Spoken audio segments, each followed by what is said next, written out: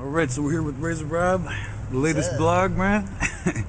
and uh, one of the things I wanted to hit on with you is uh, Ben Henderson and Donald Cerrone, who you're very familiar with. You had Yes. a crazy ass fight with him. Yes. Um, they're going to be fighting for the interim WEC lightweight title coming up real soon.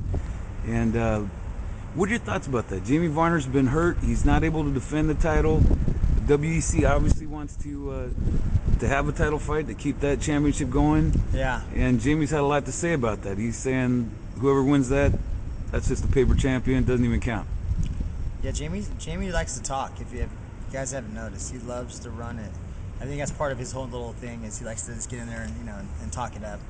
But uh, if he did more fighting than he did talking, it'd be you know a lot better for the fans and for everybody. I think. Um, I, I think that uh, Cerrone's definitely you know he when we fought it was it was uh, you know for its contendership and that kid's a scrapper you know and he's I think he's still undefeated. So the kid every time he fights you know he's definitely deserves a title shot. And uh, you know, the one that he had with uh, Varner last time, I think he got you know he got a little ripped off with the he got kneed me in the eye last time. So I think uh, you know I think Varner's like trying to talk, just to try to get him hyped up and trying to get him mad, maybe get him out of his game. But I mean, at this level, everybody's you know, everybody's a professional. When, when you talk about, does that even work at this point? I mean, when when you're a, a, a fighter at this level, I mean, you guys have gone through all the smaller shows. You're now in the big time. Can somebody get you out of your game by, by just talking trash, or, or does that Um, even work? God, I hope not. You know, I hope at this level you've you've gone beyond that. And um, speaking from my own personal experience, yeah, that that can't really get you out of your game. If anything, it's going to motivate you a little to want to smash the guy that much more.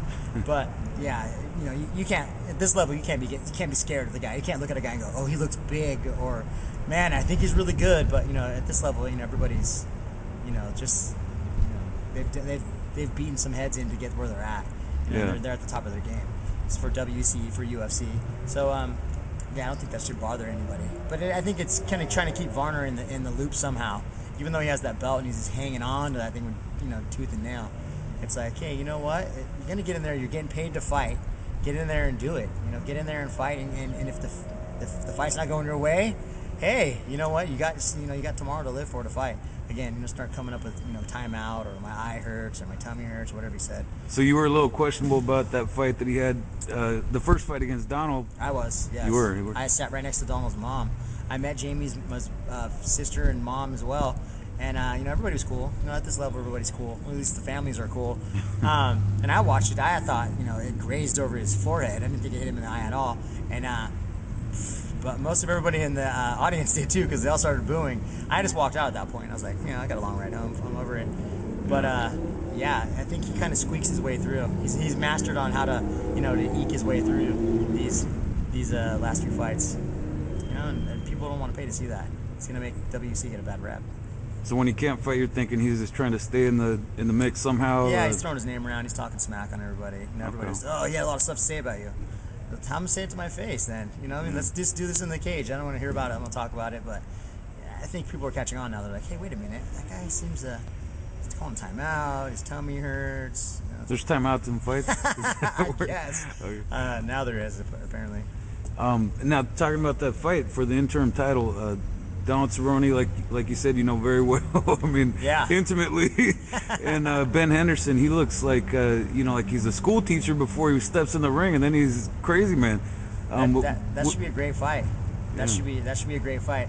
Um, you know, I think Cerrone's definitely going to test uh, Henderson's grappling skills as far as you know submission defense and all uh, have what have you. Um, that looks to you know be a great card. That looks to be a great fight. So um, I definitely think Cerrone you know needs to be up there fighting for the belt, or if not have the belt at this point. yeah. Yeah, and I can't wait to fight either one of those guys. Just you know to get back in there and have fun. And uh, now for uh, this uh, last week, we had UFC 100. It was a milestone for MMA for the UFC. Um, they had the UFC Fan Expo. I don't know. Were you up there for any of that stuff? I, uh, what, what were I, you doing? I was out there signing autographs at the uh, Fan Expo and at Hooters, the Punishment uh, Fight Shop inside the Hooters Casino. And uh, you know, I was I was stoked to see how the sport evolved. You know, it was it was it was breath. It blew me away to actually go. You know, to think back back when I first started getting into it. You know, '96, and Yeah. thinking, you know, I was just doing this to get peace of mind. You know, it was somewhere where I could go or where uh, you know where I could it was like you know pure serenity. Kind of. I remember one time I, I told my mom she she came to the gym to watch me train one time, and I yelled at her because she was yelling across the gym. You know, hey, what time are you done? And I'm like, hey, this is my church. I'm all, I'll be over there in a minute. I was trying to figure out how to use a double-ended bag at the time. Yeah. And I remember my trainer's like, hey, bro, you know, chill out. Don't be yelling at your mom from there. I'm like, dude, come on. It's, I went over there. I'm like, hey. you know, You're like, "This is my spot." Yeah, this is my spot. This is where I, this is where I, I keep it together in here. And uh, just to think back and go, wow, you know, it's gone this far. You know, people, there were so many fans there that were, you know, were just like, no way, I can't believe it. And everywhere we went, is that Razor Rob? You know, everybody was, there was fans. It was, it was really cool to see the lines and the expo was so big. It was wild, wasn't it? Like Yeah, just looking across a mind. arena or not arena, a convention center full yeah, of people. It- It, it was crazy. I was, I was happy to be, uh, to be able to be part of it. You know, it was cool.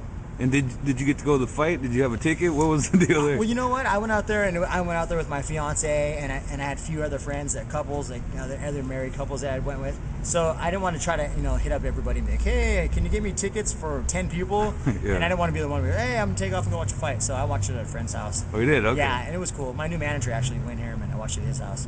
What'd you think about? Uh, uh, well, first of all, uh, the Lesnar fight. What do you think about this guy? I mean, he comes in. He, this is his fifth pro fight, and Yeah. he's already Yeah. undisputed champion. I mean, what, what do you? we were all trying to call the, uh, call the fights, and uh, Tito and I were sitting next to each other on the couch at, at my buddy's house, and we're like, "Well, I don't know." And I had called all the fights except for the Lesnar uh, Mir fight. Yeah. I, I had bet on the, that fight the first time. I said I think Mir will sub him. So then I went, "Yeah, you know what? Maybe uh, maybe he'll get him again." And I kind of was like, you know, if, there was, if I was a betting guy, because I bet on it the first time and I won some money. Yeah. If I was like, if he was a big, if Mir was a big underdog, I would bet on it again for him to win. But man, I think Mir came in really good shape. That's the best he's looked in a while, like lean cut. But uh, I think that uh, Lesnar is just his his grappling ability. He's got such a fast shot. He's such a big guy, and that really plays a difference in on when you guys are such good grapplers. The weight difference. If you Yeah. guys are equal equal grappling ability, technique, then the weight's going to play a, a difference. He just sat on the guy and pounded him. I mean, Well, he had his arm, which was even worse. He seatbelted him and was Yeah. holding his arm, just pounding him in the face. That was ridiculous. Yeah, but I didn't like the fact after the, the fact of we've gone so far with this with MMA as a sport. You know, to get away from this is a barbaric thing. This is you know two you know human cockfighting. This is two you know prison guys going at it. You know, we've gotten so far from that, and this is actually a sport. You know, legitimate sport. To get to these guys are like, you know, he freaks out, starts spitting everywhere, and then he's yelling at me after, like, "What do you think about that now?" Like, Yeah. that wasn't cool. You know what I mean? The guy, you just pounded the guy's face in.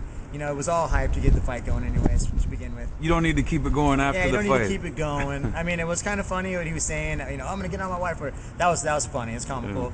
But I mean, the other stuff, the disrespect and the you know, we're not in WWF. It's not. There's no hype to it. So what did Tito have to say? Because there was a lot of talk in the post-fight press conference.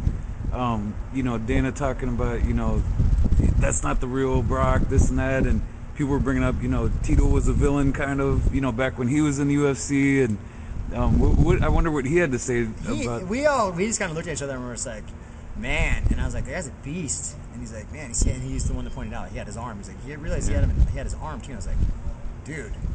But I started thinking off the bat. I, I didn't like the fact that, that that was going on, and I didn't like the fact that um, I don't know. It was kind of it was I don't know disconcerting the fact that the you know the sports evolved so much, and then Yeah. these guys are you know he's, he's freaking out like that. It looked kind of to me it looked a little barbaric. He spit spit coming out of his mouth. He's like ah, and then he's like talking smack. I was like, oh, that's not cool, dude. You know, well, it's kind of hard not to look at him and think that guy's a beast. I mean, Yeah, but then I started thinking, who can finish that guy? And I was like, oh, I bet you uh, Minotauro can finish that guy. You know, because oh, he's unstoppable. I was like, uh, you know, the true test is gonna be how how his submission defense really is against a guy is equal his size. So where where do we find that guy that's equal his size? Yeah, we'll find him. Better find him somewhere. No, I don't know. I mean, yeah. The uh, the other thing we got uh, a huge uh, fight coming up pretty soon, uh, the Affliction show, and then also uh, the biggest women's fight ever. I mean, it, I, I'm thinking boxing. I, I can't think of a fight that's bigger than Gina Carano against Cyborg Santos. And I know you've uh, trained with, with women fighters before. What, what, what do you think about a fight on that large of a scale that's being pumped so hard by Showtime? I mean, this is going to be a big fight. yeah. Um, I, Main I, event, even over the guys. Yeah. You know? Uh, I definitely. I don't know. You know, I have mixed. I have mixed emotions on the on the female fight. Really? What, what, what are Yeah. the mixed emotions? That- I don't know. this I don't know. Weird. I've trained. I've trained with Erin Toughill. She's my boxing coach at one point. You know what I mean? And, and I don't know. I, sometimes I watch them fight, and I'm just like, ah. And I don't want to say, you know, earlier I told my chick, you know, we were talking about that same thing we are talking about Erin. Yeah. And I was joking when I said it. I'm like, ah, chicks need to have babies and be in the kitchen. And she didn't think I was funny. I was kidding. But I don't know. I'm, I have mixed emotions about it. I don't know. I mean, as, and as far as, you know, Dana White saying he didn't really like it at all, that, you know, that's like you know, the NFL saying they didn't like, you know, some certain league, arena league, you know, then you're kind of done. You know? Yeah. But I don't know. I, I think uh, those two chicks are, uh, you know, it's going to be a scrap between those two. Yeah. So it's going to be interesting to watch. It looks like it's gonna be uh, amazing. I mean, they they both are action fighters. I mean, it should be Yeah. exciting, right? Yeah, I think it's going to be pretty exciting. I heard that the uh, the Carano girl was uh, uh, overweight by quite a bit. So Oh, really? yeah, so it should be pretty interesting to see how these these girls get down to, to fight time. Get down to weight. Yeah. Yeah. And Cyborg's been training a lot out here too, right? Huntington. That's what I heard. That's Yeah. what I heard. Yeah. Um, the Affliction Show. Are you going to be going out there to Honda Center to check that out? It looks I- like an exciting uh, I probably show. will. I probably will. You know, it's in the backyard, so I might as well. Yeah. Yeah, um, that, that should be interesting. I'm always stoked to, to see fights at the Honda Center too. You know, it's kind of fun to watch. It's like going to a concert, but no. And so now you are, are going to be back. Uh, last time we talked, you said hopefully in November. November, yeah. And where where does it look like that show will end up? I don't know where the venue's at. Hopefully, it's in Las Vegas. Um, but I don't know. They, they have these shows all over the place now, and I know that WEC went international. So who knows? It could be in England for all we know. Yeah. You know, UFC just signed with uh, Televisa in Mexico, so they showed that last yeah, show true. in Mexico. That's true. Maybe it'll be in Mexico City. We don't know. To be continued. So Razor Rob in Mexico. Hey, you never know. I'm down. All right, brother. Well, thanks again for checking in, man. Really appreciate it. For sure. Thanks. All right.